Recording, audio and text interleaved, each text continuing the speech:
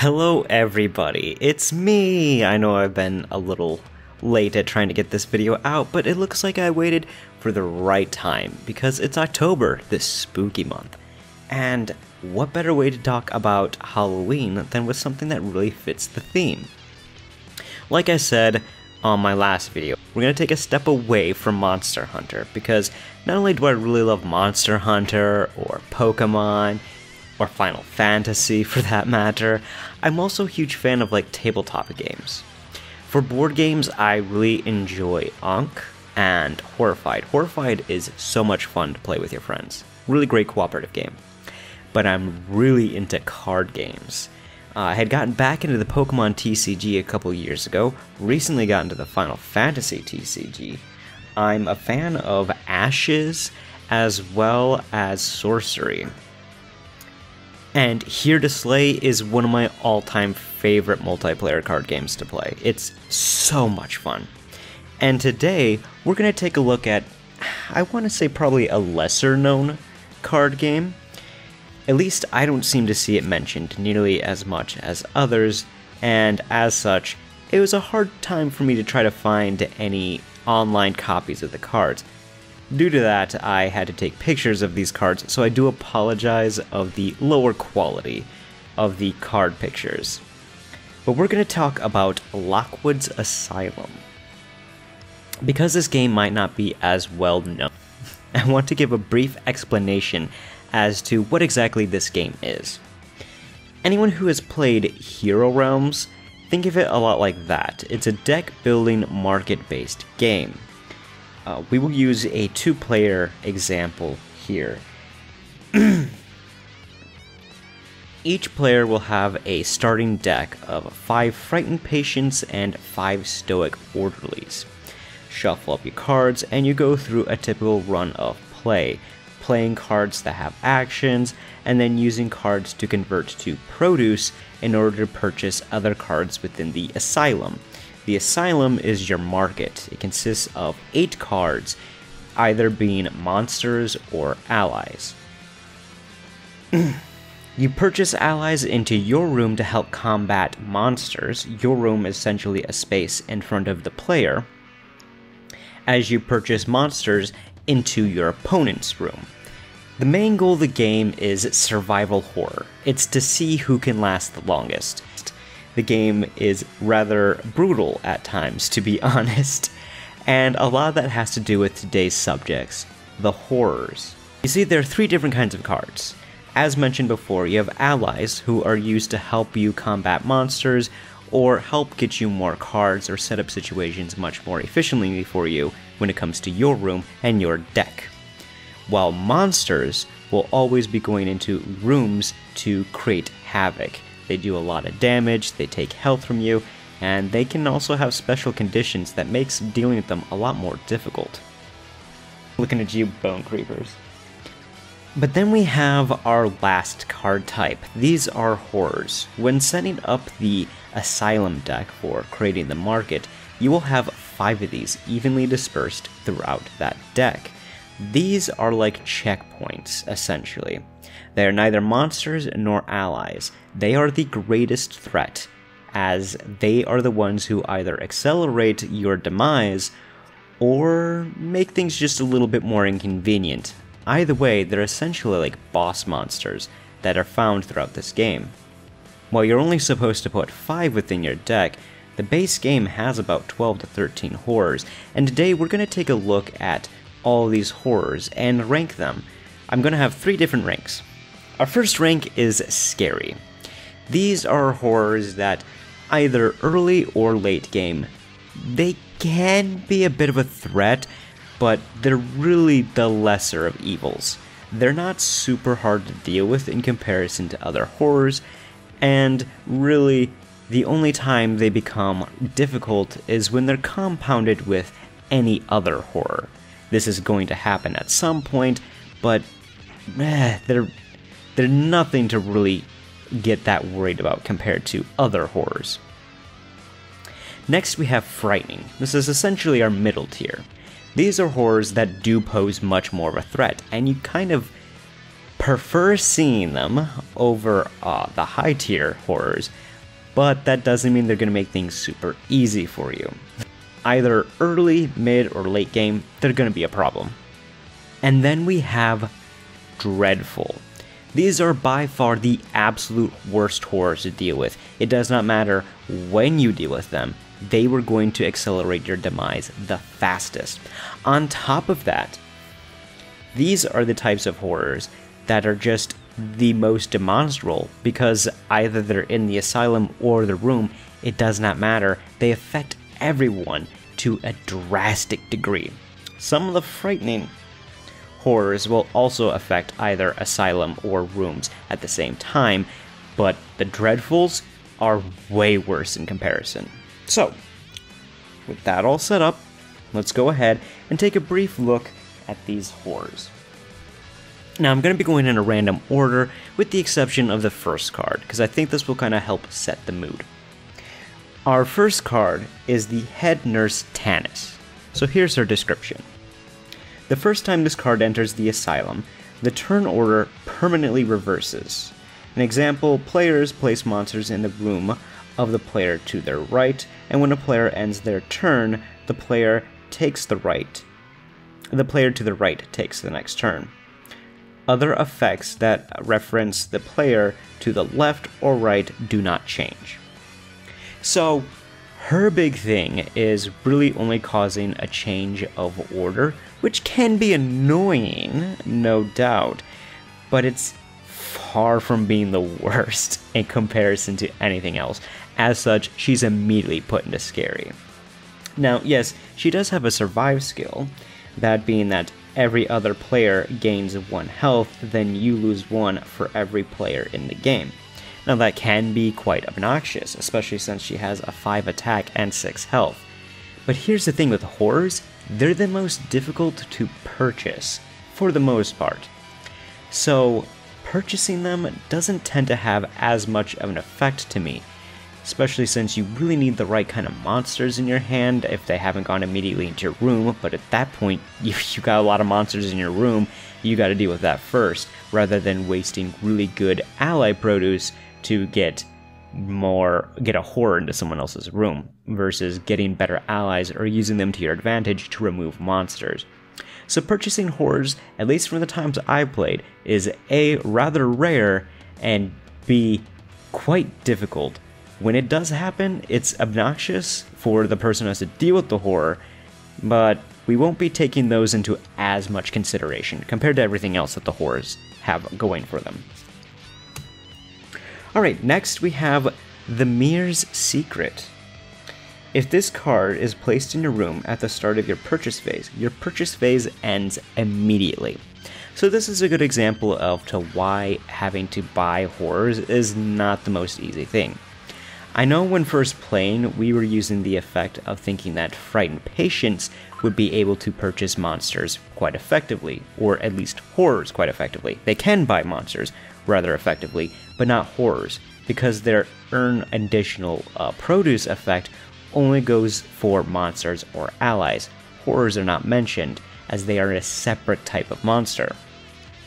So, yes, if you could purchase a 9 horror into someone's room, this would be absolutely dreadful because you cannot get into your own purchase phase, which is your most effective phase for dealing with monsters there are only a handful of cards that have actions and that let you put in allies into your room or can have special conditions to immediately remove monsters, such as the last girl.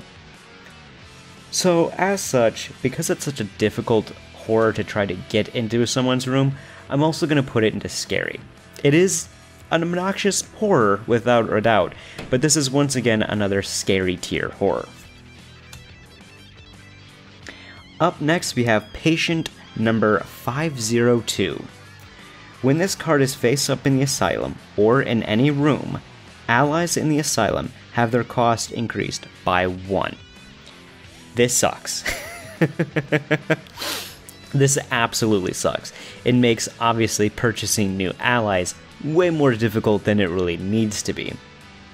Thankfully, though, thanks to things such as Frightened Patients being able to have extra produce, you whether it's early or late game, chances are you're going to take advantage of that, and only certain allies are a cost of 5, which is typically the most expensive. So with this, they become 6. Most others range between 1 and 2, with a handful of 3s. So this is obnoxious, most certainly, but I would put this in the frightened tier. It doesn't need any extra horrors to make it worse, but in of itself compared to others, it's not the most difficult thing to deal with. And it does have a survive effect as well, that being remove the topmost two allies in your discard pile from the game. So removing this one is a pain in the ass, but not not the worst we've encountered or will encounter. Next we have the Tattered King. While this card is face up in the Asylum, at the start of each player's turn, they must reveal the top card of their deck. If it is an ally, they may choose to either lose 2 health or remove it from the game. Okay, well here's our first Dreadful. This is without a doubt one of the worst kind of cards to deal with, because as it says, whether it's an asylum or a room, everyone has to do this. And chances are, you're not going to want to remove any allies, unless it's something not super great, but most allies, no matter their size, have something that you can take advantage of, even such as uh, the Unfortunate Visitor. There we go. That card is definitely an action-based one. But uh, yeah, this is this is awful because allies are your only way to combat any type of monsters coming into the room. But the cost of also losing two health is it doesn't sound like a lot, but you start off with only 20 health, so that will add up fast. If this if this horror shows up early, ooh, that's going to be a short game for those who can't really counter enough monsters and those who take advantage of purchasing monsters in other people's rooms. It This one's brutal. This is definitely a dreadful one. And then it also has a survive effect. At the end of this turn, discard any allies in your hand, then draw cards until you have 5 cards in your hand again. Yep, that that's awful. If this one does somehow also get put into a room, if that player doesn't have already four monsters within their room, come their next turn, the immediate uh, threat phase, if their hand's full of monsters, they just immediately get a whole bunch of monsters in a room with no allies. That's that's crap. Up next, we have the Awakened Hunter the first horror I ever encountered when playing this game. While this card is face up in the asylum, or in any room, players lose 1 health whenever an ally is placed into the room from their hand. Now, at first, this seems like it can be not so hot, uh, like it's going to be constantly you're losing health, but there's only a handful of allies that have actions that allow you to immediately place them from your hand into your room. When it comes to the purchasing phase, your number one way of earning extra allies, this card's ability doesn't have any effect. As such, I think this one's really only a frightening, not on the dreadful tier, at least in my books. It's not the most fun to deal with, but far from being the super scariest. It does have a survive effect if it manages to get into a room. Uh, you may choose to lose 2 health. If you do so, Choose an empty space in the asylum and place this card into that space. If you do not, this card is not discarded from your room at the end of the turn. Even its survive effect isn't really that awful if I'm being honest. It has only a 5 attack and 5 health, well I say only, compound that with uh, extra monsters, that is something obnoxious. But you can honestly remove it. Losing 2 health is much better than compared to losing 5, and again, its effect is only under specific circumstances, so not the worst, just frightening. Just frightening. Up next, we have the Whispering Haunt. While this card is face up in the asylum or in any room, there is no limit to the number of monsters that may be placed in a room during the threat phase. Okay, so this is where things get a little bit more complicated. So like I mentioned, there's that threat phase. So when your turn first starts, and this is only going to really come into play as you get further into the game after shuffling your discard pile back into your deck to uh, have all these cards of allies you've purchased and monsters that were in your room you've slain. Monsters that were in your room that you've slain go into your discard and will eventually become part of your own deck. And at the start of your next turn, if you start your turn with your hand of five with any monsters, they will immediately go into your room. Under one condition that your room has to only have up to four monsters. So if you have a handful of five, you're only going to put down four in the threat phase. If your room already has two monsters and you have a hand of three, you're only going to put down two because the threat phase only has up to four monsters within your room. As this card mentions, it can completely remove that. So, by certain circumstances, this can be absolutely awful and this is going to come into play more towards mid and late game, not so much early game. As such, I'm not quite so certain. I would go so far as to say it's dreadful. But even though it doesn't go quite into effect early game, it is something you can start kind of conditioning against other people and other uh, to really start purchasing a whole bunch of small monsters straight into their uh, rooms which will then cause them to have to deal with that, and eventually they're going to come back around until you can somehow get rid of this monster, who does have a fair amount of health of 6. So if it does, or this horror, if it does manage to get into a room, it does have a survive effect. Place this card into the room of the player with more health than you. So, really, the best bet is just try to get rid of it uh, when it is into play. I would say this is high tier frightening. Um, I'm not quite so confident I want to put it in dreadful, just because ah, there's also a few times that we've eh, when we played where you're gonna have a whole bunch of monsters. Typically, you're gonna have a fair amount of allies as well. So eh, it's iffy. It's certainly a good way to remove someone for certain. This card does have that effect but right now I think I'm going to put it in just high frightening, almost to dreadful. Up next we have, and I hope I pronounced this correctly, the Hierophant. May have mispronounced that, but I will have these cards up as I'm talking about them. When this card enters your room, reveal the top three cards of your Asylum deck. Place any revealed monster or horrors into your room then remove the rest up from the game. Okay. So this one is also very specific. Its effect is not into play while in the asylum, because you can't really do that. It's simply when it comes into your room. And then you have to take take on all these horrors or monsters.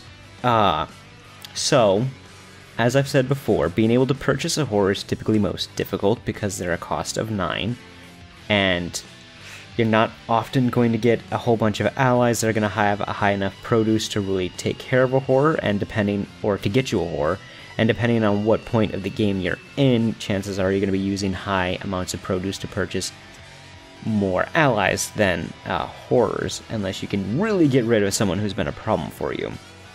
As such, I kind of think this one's just scary because of how specific her conditions are. Now, don't get me wrong, three cards is actually a lot. There are a lot more monsters within the Asylum deck than there are allies, and top of that, having those horrors, that can make something really, really awful. But because of the less likely chance someone's going to actually purchase a horror, and depending on when she comes into play, eh, I really don't see that being super awful. She comes into late game into the asylum, you're probably already dealing with two other horrors or one other horror. That's way more important and way more threatening. So I think she's just as scary. She does have a slain. Remove all allies in your room from the game. So if you do conquer this horror, uh, it's awful. But yeah, that's uh, that's not so great. So, if she manages to get into your room, she's awful. But chances are rather slim, I would say. Our next horror is the Bone Gnar. While this card is face up in the asylum or in any room, each player loses one health at the start of their turn. Well, this is just an acceleration card. it does not matter when this horror shows up, early, late, or mid. It's a problem for everyone, because it's just straight up guaranteed you're losing health. And as we've discussed, trying to purchase horrors is more difficult than it is anything else. So if you could try to purchase this thing to try to get rid of it, well, it does have a survive effect, so you need to make sure you can do more than 5 damage if it enters a room. All allies that are slain this turn are removed from the game. So, that is an issue if you don't have enough protection, because most of the time allies don't have in themselves the greatest amount of health to keep you protected, so if they do go out, you don't get them anymore. This one I would say is actually dreadful. This, just because it does affect everyone quite consistently, this is guaranteed to make sure, at the very least, a game's gonna at most last about 20 turns. Um, maybe less, depending on everything else people have to deal with. So, it's shown up in a game for me before, and it, uh, it was not fun. So this is a dreadful horror for certain.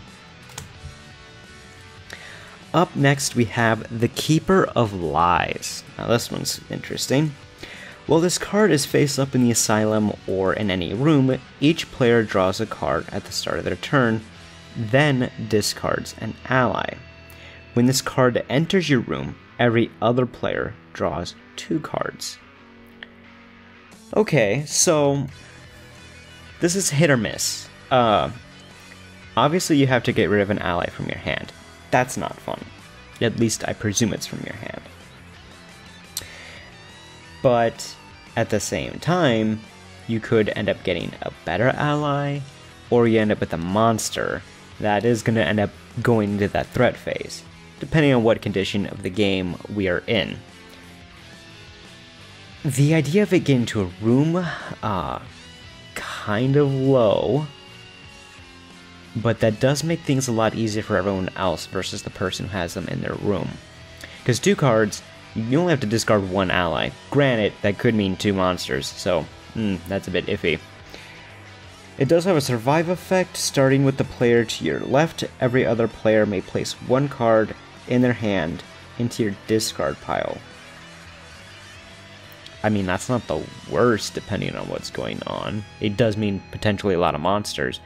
I don't know. This one I feel like is more frightening. Early game, it's not going to be the worst. Late game, it is going to be a difficulty uh, issue. Because at that point, you're going to have more monsters. That means more chance of having something awful with the threat phase. You compound this with the uh, Whispering Haunt, that would be an issue. That's where two frightenings become dreadful, but this one I really do think is a frightening. So, that's where I'm going to put it anyway. Ah, here we go. The Malevolent Kitsune is our next horror. When this card becomes face up anywhere, all non horror cards in the asylum are turned face down, shuffled, and randomly placed in the asylum spaces. Cards are not turned face up when they are placed into the asylum, and face down cards in the asylum have a cost of 3. When this card leaves play, turn all the cards in the asylum face up. So, hmm. Here's the thing with this card it's kind of tricky. Early game, I would say it's potentially more threatening than late game. Because at late game, as you uh, read the text, it's all of the uh, non horror cards. So it's Asylum or Monster, or allies or monsters that get flipped upside down. So in late game, when you already have horrors, this is only going to affect allies and monsters, not really whatever horrors you have present. And I would say that's not as bad. It's still annoying, without a doubt. If you you're gonna only have that first condition of the asylum, potentially a good idea of where some monsters, where some horror horrors are, or where some monsters and where some allies are, but you have no idea once you start getting new cards in the asylum, and that's what makes things tricky, even though they're all at a low cost. Early game, this is a lot more annoying because at that point, if this is your first horror, any new horrors aren't going to be flipped upside upside right because you don't look at it mm. when you put it into play. This means you could accidentally purchase a horror of 3 that could be devastating for everyone else. Because of the conditioning with this a horror, I'm to put it as frightening. Originally, I was thinking it might just be scary, but I think this one actually can be frightening. Um, while it's not as bad late game, in my opinion, early game it can present quite a lot of havoc and chaos, so that could be an issue. Up next, we have the Eye of Shaltacha. I think that's how you pronounce it. I'm not 100% certain but it's essentially like some kind of virus. Or I guess more so bacteria. While this card is face up in the asylum, or in any room, allies in the asylum and all rooms have no game text. This is straight up the worst. I have dealt with this on my first playthrough. It was a late game monster uh, that showed up against my friend and I, and it was just the worst because you're really relying on effects from allies in your room to really help give you a boost, as well as when you can purchase certain allies to give you an extra boost to deal with monsters, because they don't have high stats. It's the effects that they have that really make them useful. Having that completely removed is just awful. Awful, awful, awful. I hate this horror. I do not enjoy it at all. It is absolutely dreadful. It also has a survive effect if you do manage to get into someone's room. You may choose to lose 2 health. If you don't, this card is not discarded from your room at the end of your turn. So you basically you either have to deal with this whole condition on top of being attacked for 4 damage constantly because that's its attack when it has 6 health, or you can choose to lose 2 health and just let it go and so you're going to get better effects from allies for, throughout the rest of the game. So, this one's just awful. Dreadful indeed. Next, we have Lockwood's Creation. While this card is face up in the asylum, or in any room, every monster has an additional hit point. So, because I've mentioned before that allies tend to not have the greatest attack, but do have sometimes reasonable health, they aren't usually so great at taking out monsters just based on their attack alone. It's more so any effects that specific allies have. This does make it more difficult, particularly early on in the game, when you might not have as many of those allies present or in your deck, and you're really focusing on frightened patients and stoic orderlies. This is a problem. Um, I would say it doesn't really matter when the timing of the game is, whether it's early, late, or mid, this one's dreadful. I know it might not sound like one extra hit point is the worst to deal with, but when you have cards that can't do a lot of damage, when you have allies that just cannot do a lot of damage, and you have multiple monsters in your uh, room, like if you got three monsters, which is a common thing that can happen, that's just three extra health you have to deal with and three extra damage you have to do. That most cards can't even seem to do 3 damage when it comes to allies. This one's dreadful. It, it is quite difficult to deal with. We do have a survive effect as well. Place this card into the room of a player with less health, health than you, if possible. So that can be interesting, to say the least.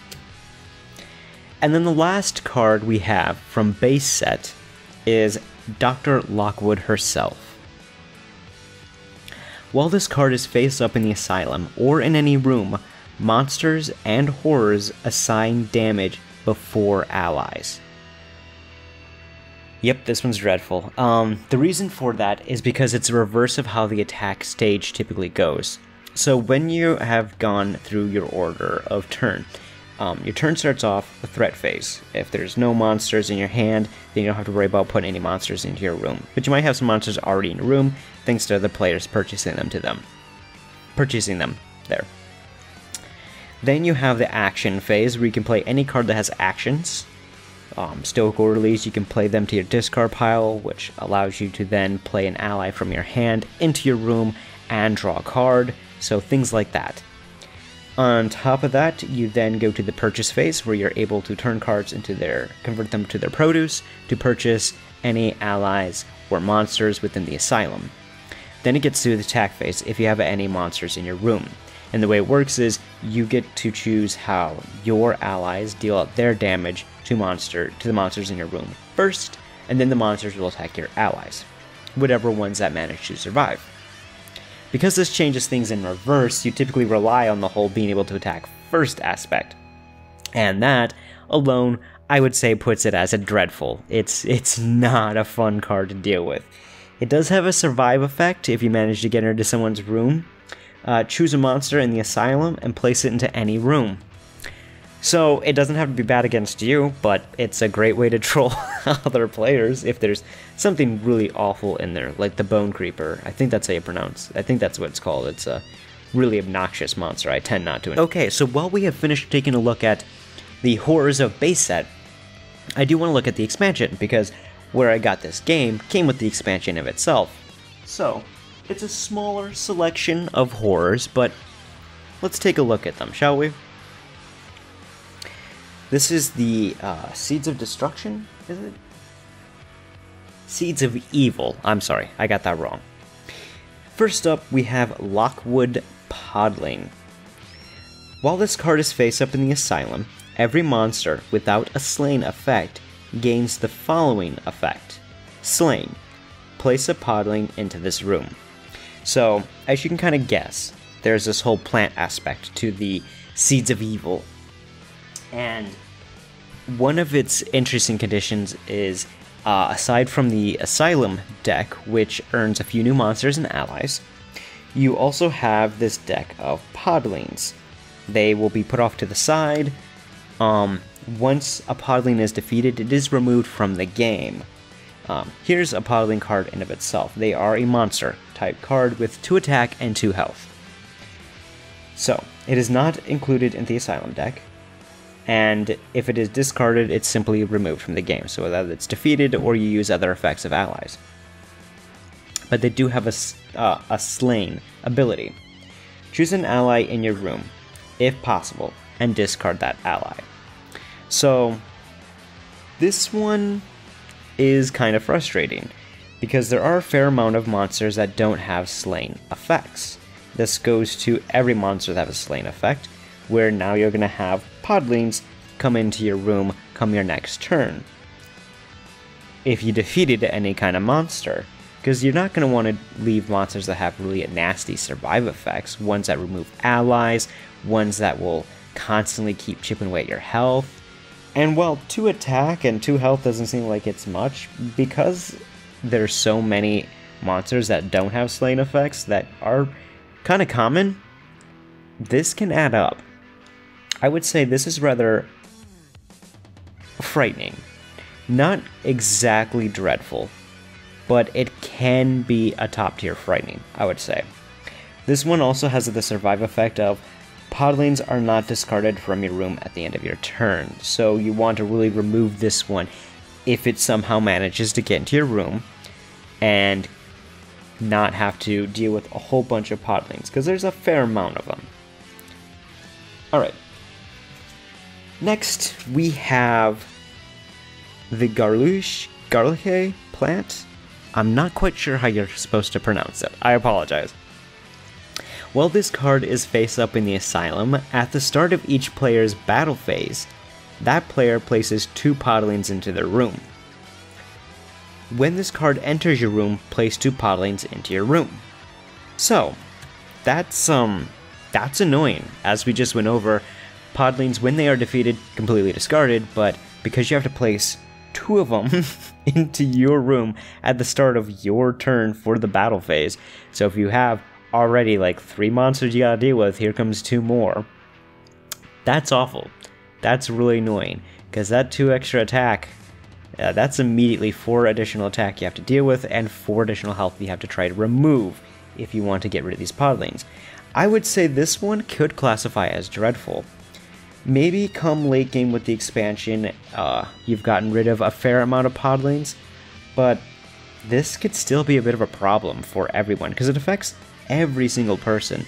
So yeah, I'm gonna say this one for certain, Dreadful. While it doesn't have any like slay or survive effects, it's still obnoxious. And it's got a good amount of health if it manages to get into someone's room. So yeah, this one, pretty pretty dreadful. And here is our very last and final horror. Excuse me. The Glowing Meteorite. While this card is face up in the asylum or in any room, every ally card gains the following text. Action. Place a podling into a room with two or fewer podlings. Then remove this card from the game and draw a card. Survive, lose 2 health. This card is not discarded from your room at the end of your turn. So, this is an interesting card. Right off the bat, I feel like it's frightening and not dreadful because while it gives every single ally card this type of action, don't think you're typically going to want to use it because you have to remove that ally. Maybe under certain certain conditions. Maybe under certain conditions you might find an ally not the most beneficial, so you might remove it then, but I don't know. Late or mid game, this is really not something you want to have to lose an ally. But I would say it's still frightening because there might be those who do choose to take that risk. And really, it allows them to then place podlings and monsters into other people. So while it might not be super uh, detrimental at the time to the person who's using this effect, it is a good way to accelerate someone else's demise when playing the game. So yeah, there we go. That's uh, that's the list of horrors. That's Lockwood Asylum. Um, if there's any of you who haven't played this game, and it seems like it might be kind of a cool and interesting game to play, I'd say give it a try. I I really enjoy it. Um, I like card games in general. I like deck building games. This is this is really neat one to me. It's hard because it's meant to be. It's like survival horror. You're not meant to survive this. It's about just hoping you can outlast before anyone else beats you. Or anyone else tries to get you or get your room filled with monsters. It's entertaining. I hope you enjoyed taking a look at these cards. I think they have really neat artwork. I hope uh, maybe you got interested in any other card games I briefly mentioned. We'll probably take a look at some of them down the line as well. I just wanted to do this because I really got into this game. I think it's cool. Um, I wanted to share it with y'all and with more people. It's awesome. I apologize if this was kind of a bit of a rambly video. I'm not really doing any scripting for my videos right now. Instead, I'm focusing a lot of my writing on some other project that uh, demands a lot more attention in that regard. But this is just something I do for fun on the side, so I wanted to get this out there. Uh, happy Halloween for when this comes around. I love this holiday, probably the only one I like left anymore. Um, but next time, I'm thinking of either talking about my thoughts of the DLC that was given to Pokemon Sword and Shield because I did eventually pick up the uh, physical copies that have the DLC already on the cartridge. So I have some familiarity with that to see how I think it improved uh, Sword and Shield or talk about my top 10 favorite Pokemon from the 8th generation, essentially Galarian Pokemon, because I did not play Legends Arceus uh, before Scarlet and Violet come out, because I'm actually pretty excited for that. But you guys let me know, either we talk about some Pokemon first, which I'm leaning more towards doing, or get back to some Monster Hunter, where I'll probably talk about some more monsters again. But uh, thanks for sticking around and listening, and you guys all have a good one. Enjoy playing whatever games you play.